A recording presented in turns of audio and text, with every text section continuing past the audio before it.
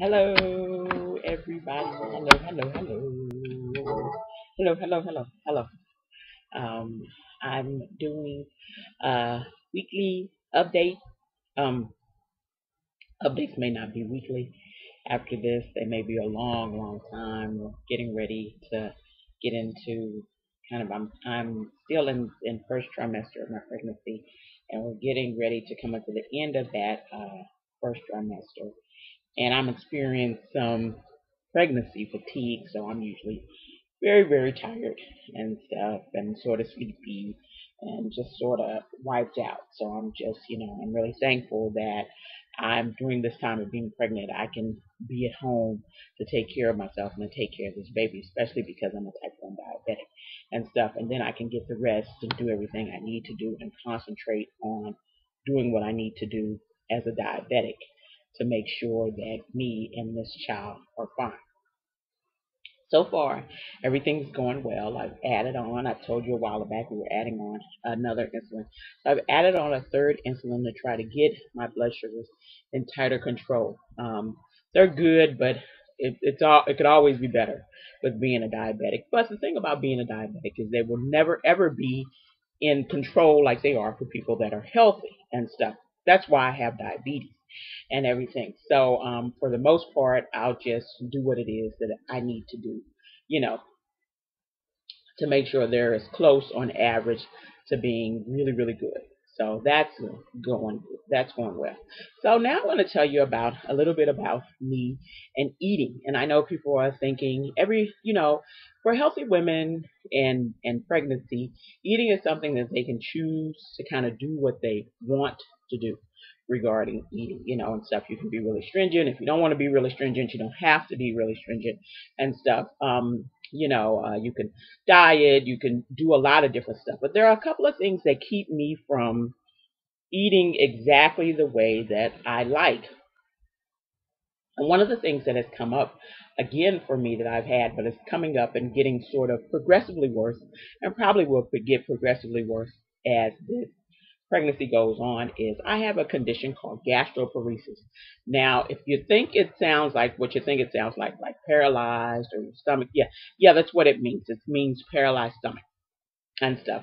And um, many diabetics get it after having diabetes for a long time. And as you know, I've had diabetes almost coming up 34 years here. So in that time, you you may end up with, if you're a diabetic, you may end up with gastroparesis. And what that means is that when I eat stuff, it usually, as usually for you, it sits on your stomach maybe, maybe two hours, maybe four hours for most stuff. Some stuff a little longer. But you know, two to four hours, it'll sit on your stomach and start to clear your stomach and go into your small intestines and then end up in your colon. Well, for me, it stays a long, long, long time and stuff. And pretty much everything stays a long, long time except liquid and stuff, but most everything else stays a long, long time. So if I eat crackers or if I eat a sandwich or something like that, if I have a tuna sandwich, which I'm probably going to have today, it will sit there for hours in my stomach and I can feel it. It's not digesting, it's not really doing anything. And because women who are pregnant are have a, um, produce a lot more progesterone, and that's just because we're our uteruses need to relax and and get ready to hold a big baby. So we need that progesterone, and it helps that smooth muscle relax.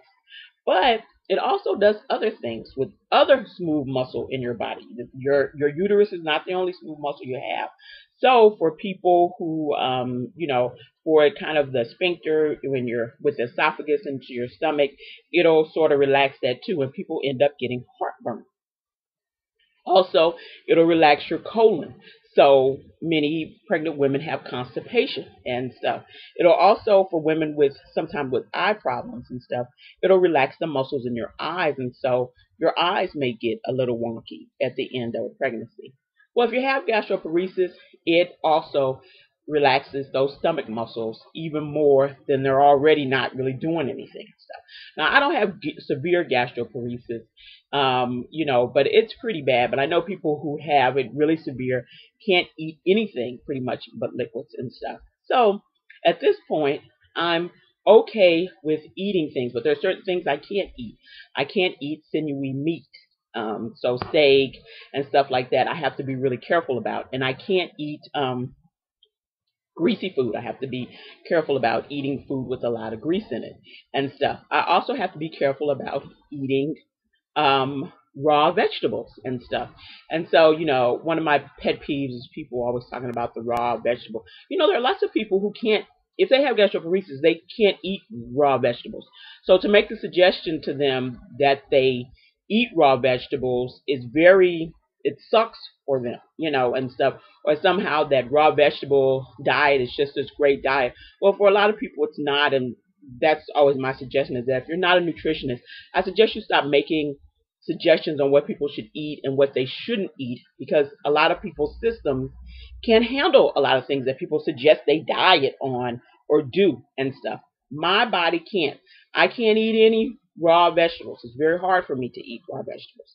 Um, all my vegetables have to be cooked so they're soft so I can, you know, eat them and chew them down. I have to chew everything pretty fully. So, you know, um, I've always had a problem with dairy products anyway. Um, I'm lactose intolerant. So there's never anything I've been able to digest anyway and stuff. So at this point with the gastroparesis, which is not really terrible right now, there's just a couple of things I've taken out of my diet. But by the end of this pregnancy, what will probably happen is that I will have to eat six very small meals during the day, you know, and stuff so I can get all the nutrition that I need. And right now for breakfast, um, if I can't eat, if I feel like my stomach is still full, and sometimes when I wake up in the morning, it still feels like whatever I ate 10, 12 hours ago is still sitting there. I drink Glucerna to be able to get the nutrition that I need and stuff, you know. So it's it's not the best thing in the whole wide world, but it is what it is and stuff. You know, there's nothing I can do. This is nine months of this. After the baby is born, things will kind of go probably back to the same as they were previously and you know I'll, my gastroparesis well it'll you know I'll still have it. It'll it'll probably but it won't be as bad as it's been you know during the time of my pregnancy. Okay. So I am you know doing all of this and doing all of the eating stuff. There's other stuff that I do. I have a very stringent eating diet. I eat at the same times during the day in same intervals. Okay, so I eat every four hours, and then every two hours I have a snack. The snack has to be carbohydrates and protein for the one after breakfast and for the one after lunch. The bedtime snack has to be fat and protein, which means, you know, for a lot of people, oh, you know, well, for some people, fat and protein is a really good thing. Um, so I eat like maybe a piece of bacon and a piece of cheese. You don't go crazy on the fat and protein. That's not good for you. But I have to have a fat and a piece of protein. So I eat a piece of ham or I eat a piece of, you know, chicken, you know, and stuff and a piece of cheese and stuff. Cheese is great fat. is great fat and protein all in one. So is peanut butter. Um, you know, so I'll eat those things. But usually for snacks, I just eat like cheese and crackers or peanut butter and crackers. Believe me, I'm not a fan of peanut butter and crackers, but I'll eat it. Okay. For breakfast, I, like I say, right now I'm using Glucerna, but sometimes I eat yogurt. Yogurt gives me some calcium and stuff um, that I need in the morning. For for lunch, I eat a sandwich, some kind of sandwich, and usually chips and stuff, and then I drink something. Now, I can't, of course, for most pregnant women, you can't drink Coca-Cola and stuff like that with caffeine. Um, I usually drink like diet ginger ale or something like that, or just my little bubbly water. Now, to tell you the truth, I probably shouldn't be drinking so much stuff with with uh with carbonation because it gives me a little. It gives it makes me like oh gas, and I mean it's like the gas that won't come out and stuff. So it's just like ah, I'm in pain, but I love carbonated stuff. So I'm not gonna give it up until it gets really, really bad. Okay, and stuff. So and then for dinner, I have some combination of a uh, carbohydrate, a protein, and a vegetable um, every night. And that's pretty much how I eat. And it's every four hours. And I, in between those, I take a blood sugar before dinner. Um, I mean, before breakfast, after breakfast, before lunch, after lunch, before dinner, after dinner, and one at dinner and one at bedtime, and then maybe one in the middle of the night. So I take between seven and eight blood sugars a day to try to keep up with all this stuff. The diet part is is not that bad, you know, and stuff. Um, I'm having fun trying to figure out, you know, I can I just try to figure out stuff that I could probably eat and not die from eating every day for for nine months. So it hasn't been it hasn't been that terrible. Um, the um, the you know I've had a some morning sickness and stuff, and, and it hasn't been really that that hasn't been that bad either. I'm really thankful and stuff. And as I've told everybody, my blood pressure, which I'm, I suffer from high blood pressure, but my blood pressure is absolutely fantastic right now. So I'm so thankful to God that that's just one less thing I have to worry about, and I just can concentrate on the diabetes part and stuff. So I want to say this: this is not bad. This is just stuff I have to do. I know people thinking, oh, you know, but really, you think you wouldn't do stuff, but really, when it comes to your health, and really in this case, the health of your child, you you do what you have to do, you know, and stuff. It's not anything I question. It's not anything I'm moaning and groaning and sad about. I'm more than happy to do this. Um, you know, this was my choice. This is the choice that I made to have the baby and stuff. And I'm just glad that, you know, I this is all I really need to do. It's not really that terrible. And to tell you the truth, it's kind of nice because now I'm getting myself on a really kind of stringent eating regimen which helps my blood sugars, which also trains me not to eat in between and do a bunch of crazy snacking, so I end up gaining a bunch of weight. Because I can't gain a lot of weight during this pregnancy. As I said, I can't, I just can't. I cannot gain a lot of weight. If I gain a lot of weight, the baby gains a lot of weight. And then we also talked about, you know, glucose in this baby. I can't have high glucose because this baby feeds, it, all its energy is from my glucose and stuff. And that's usually what makes really big, big babies. When people have really big babies and stuff, you know, it's because, usually because people are, have not been controlling their glucose levels. And all the baby does is just take all your extra glucose because that's the only thing it can use for energy. So, and it gets really big and stuff. So I can't have those also. So far, everything's been good. It's just been sort of a regular pregnancy. Um, this is not a bad thing. Probably all pregnant women should be on some sort of more stringent diet and stuff like that. Um, I haven't had any really bad cravings. I've had a craving for vinegar, um, but it hasn't been anything like, oh, what I got to have? You know, and stuff. I, I can live with it or without it and stuff like that. Um, I've had this weird craving for chicken. I don't know why. And eggs, and I don't like eggs. Um, I, I don't like the smell of eggs and stuff.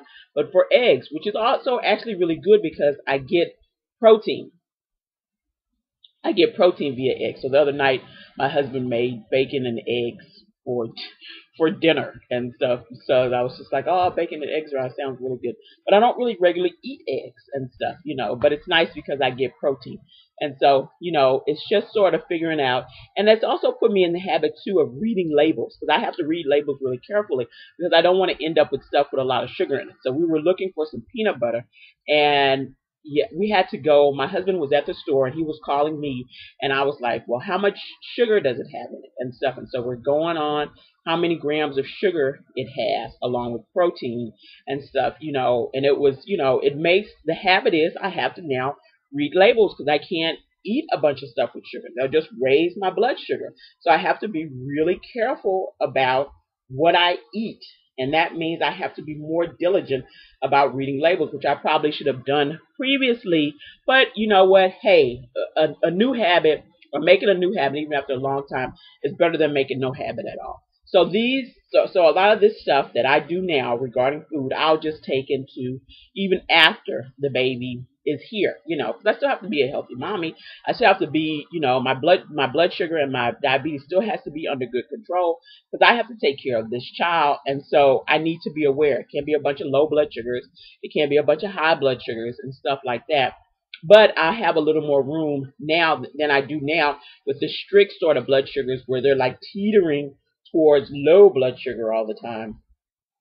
And really, when you're just doing regular, when you're a regular type 1 diabetic just living, they don't want you there. They'd rather have you like between 120 and 150 and something. But as a pregnant diabetic, they want you really close. So they want you at like, you know, 80 and and you know like it ate enriches, which means many times I am very low. My blood sugar is very very low and stuff. And so what we're trying to do now is to make sure I don't end up with so many low blood sugars and stuff like that.